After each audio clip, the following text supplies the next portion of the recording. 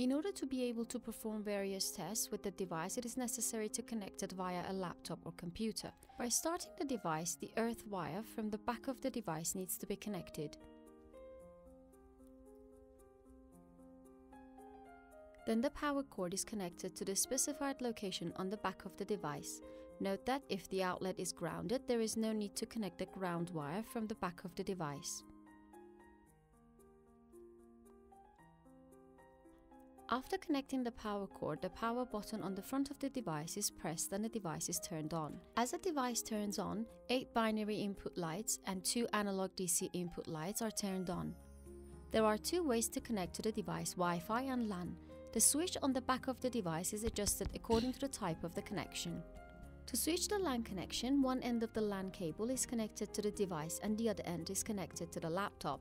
When the device and the laptop are properly connected and the switch is changed from Wi-Fi to LAN, the LAN port light of the device and the laptop are turned on. The setting for the section of the LAN port is set only once for each computer before the first connection. To set these settings, go to the control panel and open Network and Sharing Center. On this window, by clicking on the Change Adapter setting, another window opens. There are several sections on this window. To change the LAN setting, double-click on the Ethernet. Click on the Internet Protocol version 4 in the opened window. On this window, enter 192 dot 168 dot 1 dot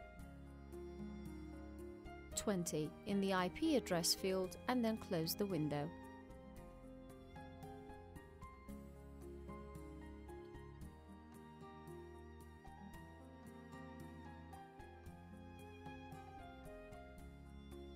Then open the Ampro software by clicking on Preferences on the Start page of the software. A new window opens.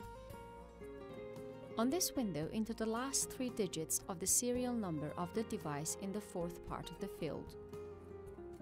To connect to the device, click on the Connect. If a new version is connected to the device, the firmware of the device will be updated once and after the green bar is filled, the device will be connected in a few seconds.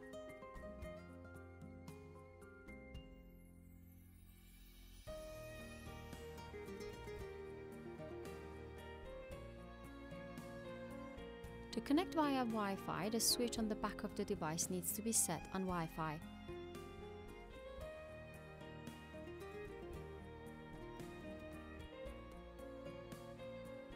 Now from the Wi-Fi and quick launch bar on the laptop, find and select the Wi-Fi connection of the device.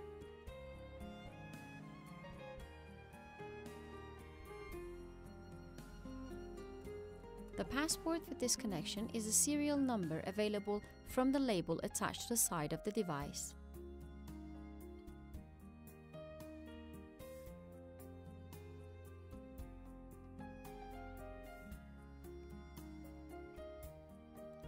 Once the connection is complete, click on the Preferences on the Start page of the software. On this page, enter the last three digits of the serial number of the device in the fourth part of the IP field.